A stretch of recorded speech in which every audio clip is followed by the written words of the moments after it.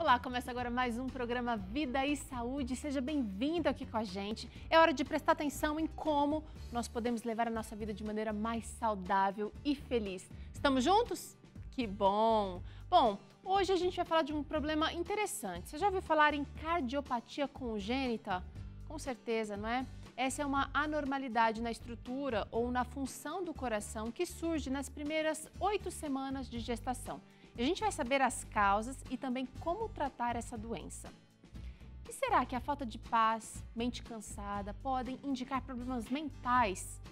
Como vencer os traumas emocionais e não transmitir isso na criação dos filhos? Essas são algumas das perguntas que o Dr. César Vasconcelos responde no Claramente de hoje. E dá uma olhada nessa receita prática e gostosa que eu vou te ensinar. Olha aí, é um mexidão. Isso mesmo, vai fazer sucesso aí na sua família para os dias mais corridos, sem abrir mão do sabor e da nutrição. Mas antes, você sabe que a gente gosta de começar o Vida e Saúde com uma reflexão e hoje eu separei esse pensamento de Whitefield. Ele disse o seguinte: Deus muitas vezes não responde às orações de seus filhos, removendo o sofrimento, mas aumentando-lhes a capacidade de suportá-lo.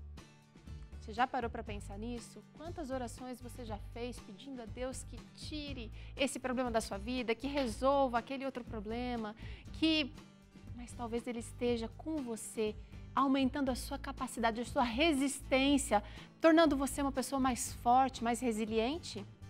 Então vamos aquietar e saber que Deus é Deus. Não deixe de orar, não deixe de clamar a Ele, mas esteja aberto aberta às soluções e às respostas que ele pode estar te dando.